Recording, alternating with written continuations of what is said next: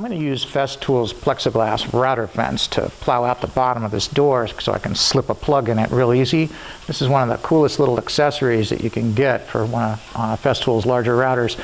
I'm going to mount it here onto the 22. All I got to do to mount this is to thread two screws through the router fence into the base of the 2200 router. That is enough to secure it. I'll drop the base down so I can see the bit really well. So now all I have to do is slide the fence right up against the bit here, or as close as I want to get it, about a sixteenth of an inch away, fat sixteenth so I don't nick the skin on the door. And tighten down these knobs here, one at the front, one at the back. And then once I get it on the door, I can adjust this fence on this side and slide it up too. Just loosen up the knobs on the front and the back here and slide it up until the whole fence is snug on the door. I could actually check that right now with the plug that I cut off the door and adjust that fence so it's just perfect before I put it on the door.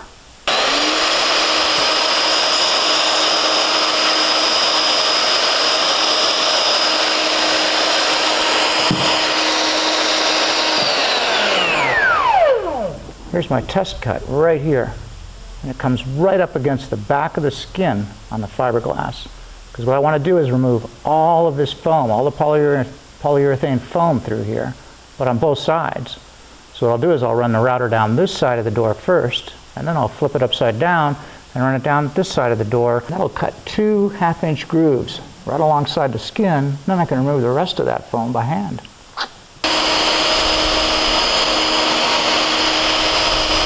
Here's the cut I'm talking about.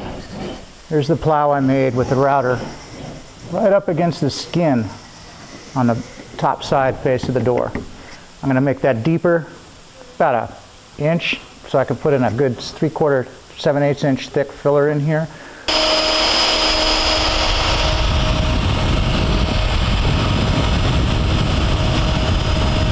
Sometimes you can't do anything right unless you have just the right clamp.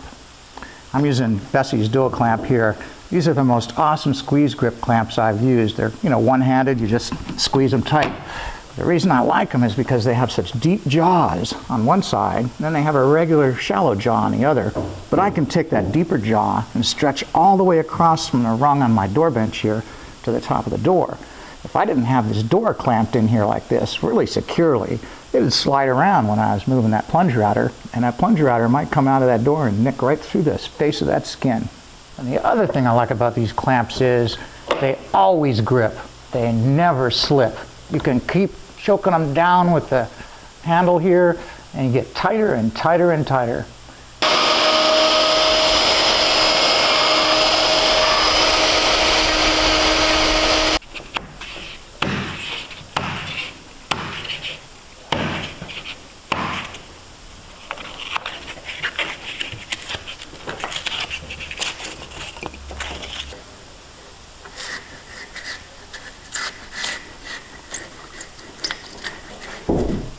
And that is that. I don't know how you might have done this. I know a few years ago before I had a Festool 2200 router and this awesome guide, the fence that attaches to the bottom of the router, I used to do this with a homemade jig and it was a lot of sweating, agonizing, high tension work. It didn't have a fence on both sides of the door to trap the router and the bit inside the door. This not only has a dual fence that's easy to adjust with the knobs on the back side, but you can see through the top of it because it's clear. So it's really easy to center the fences on both sides of the router bit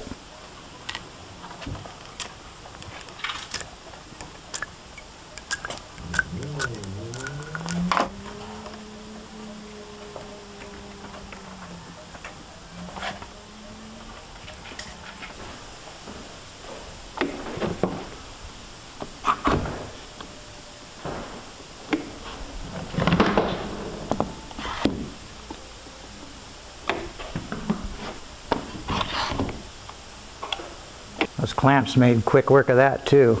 I'll leave these things on here overnight and tomorrow morning I'll be able to hang this door. This is the bottom of the door that I cut off yesterday with my Festool saw and guide rail. And if you look at this, you'll notice that this door has a composite bottom rail.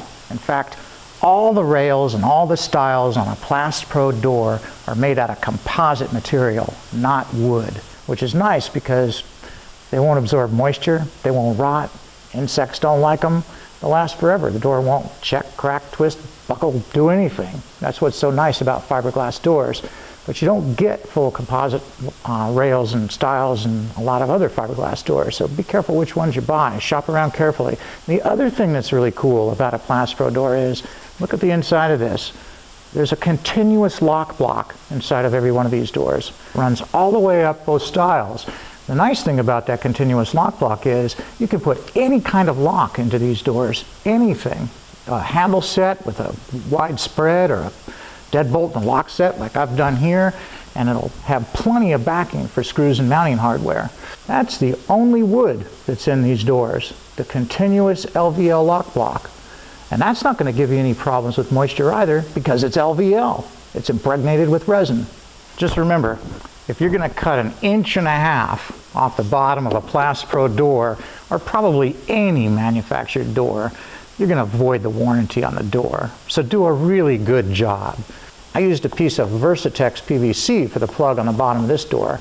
I didn't have a piece of composite decking around, but I did have plenty of Versatex. And this material will make an ideal plug for the bottom of the door.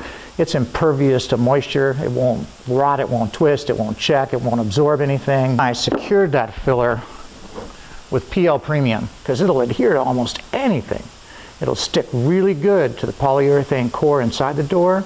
It'll adhere to the PVC plug I'm installing. And it'll adhere to the fiberglass skin on the back side of this door too. Now, we can pull all these clamps off this door.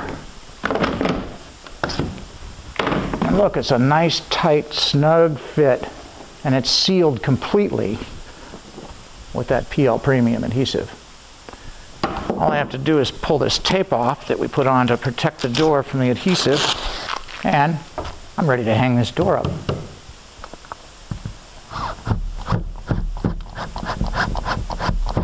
Oh, thanks for your help. So, I got my door up. I just got the door shoe on it. It locks and it latches, and it's cut off at exactly the right elevation.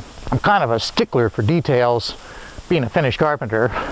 I wanted to be sure that the top of this door was level with the Milgard doors and windows I installed on the rest of the shop, and those units are lower. They come in at about 80 and a half inches in height, and that's why I ended up having to cut an inch and a half off the bottom of this Plastpro door.